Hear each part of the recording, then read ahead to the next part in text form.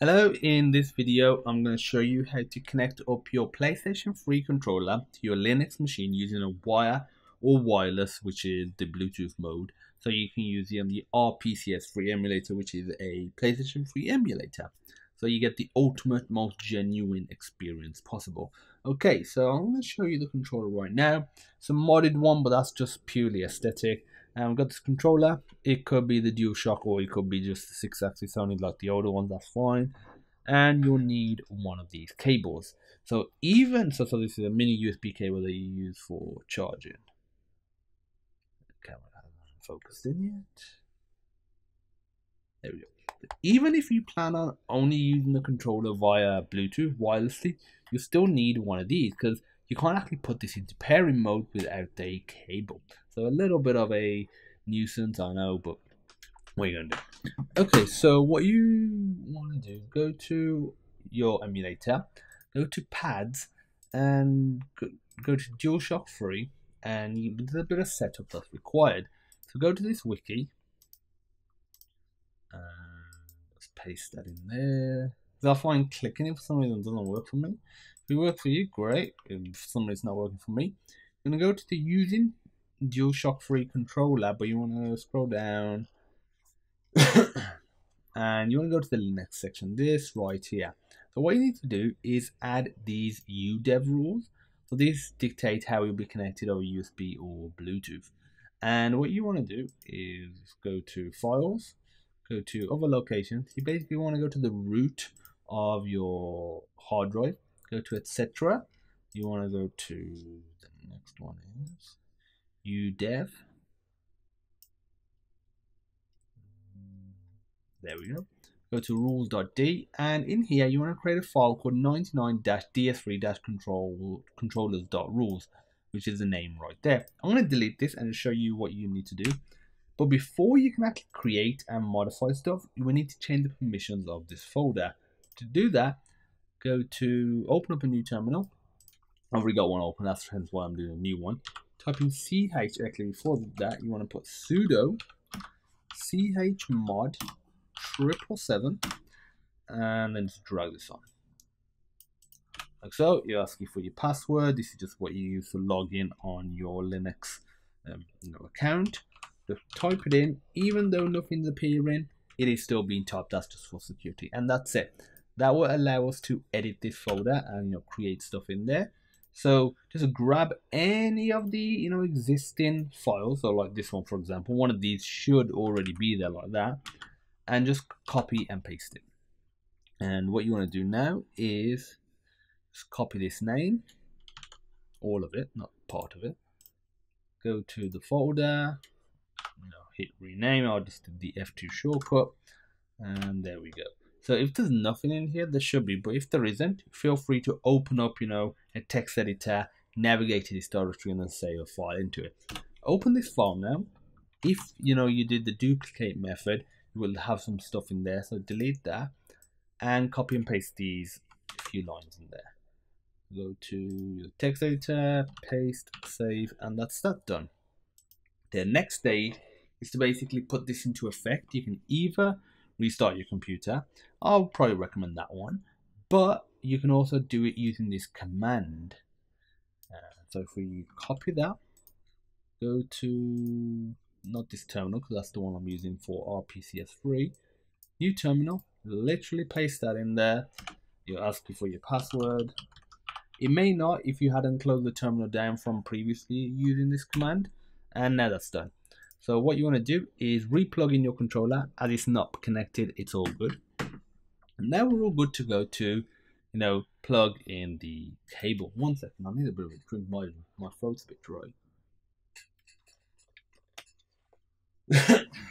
Plus my throat's not well in general.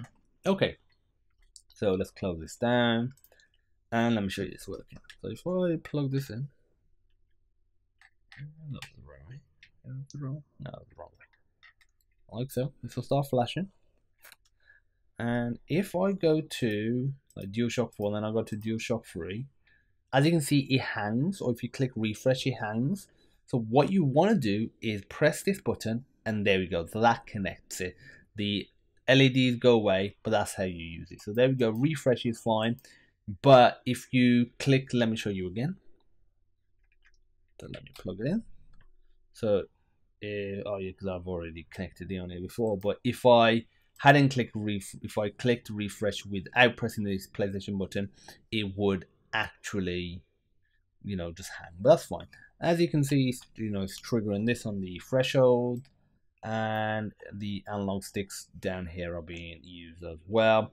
You, there's no large vibration; it's only small vibrations. So if you want to, you know, turn that off, feel free to. And the other thing is, if you want to add a profile, this is pretty cool. You could add a profile for different game maybe, and you know change the order of your controls. Automatically, it should be mapped correctly.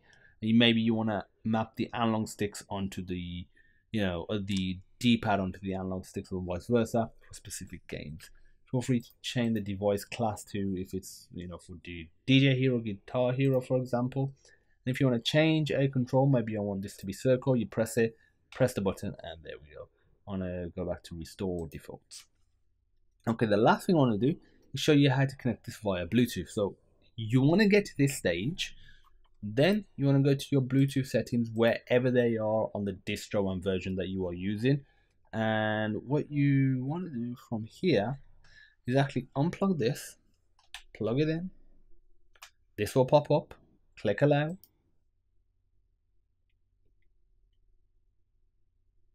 And as you can see, it's connected.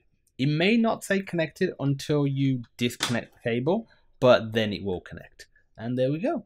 So if I go back to this, uh, it's not appearing. Let me press the PlayStation button.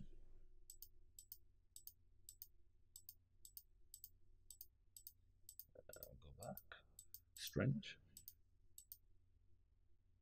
Let me just close this down and reopen it. Hmm a very strange need.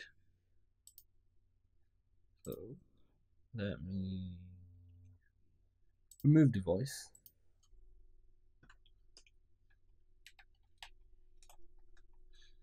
Okay, allow. Okay, it's disconnected. Just press this and disconnect. This will connect to it. There we go. Now let's have a look. There we go. For some reason didn't trigger it the first time, but it does now. But the LED does disappear again. This is a little caveat. As you can see, this is working fine.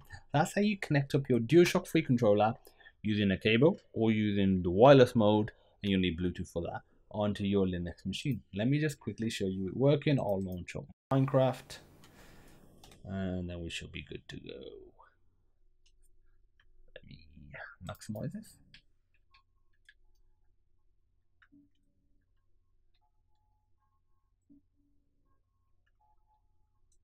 Is it working?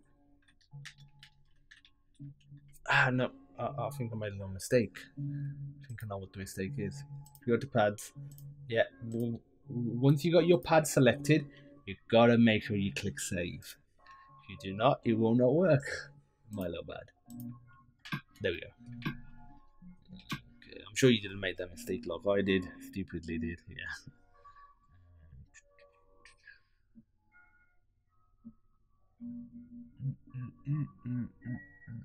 This controller definitely needs a clean look at that. Just awful. Probably got the coronavirus in there. Probably where it originated from this controller. I must be immune to it. Oh yeah. So there we go. As you can see it is working. Jump. Let's do a bit of mining.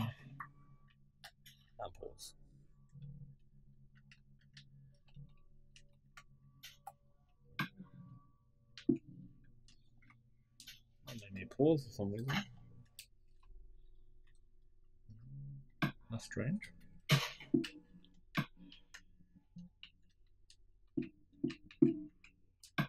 There we go. Okay. Don't know why it wasn't let me pause. I think I had to just do a few things before that. But that's it. That is how you connect up your PS3 controller to your Linux machine so you can use it on the RPCS3 emulator. If you have any questions, feel free to pop me a message. And as usual, I look forward to seeing you in the next video.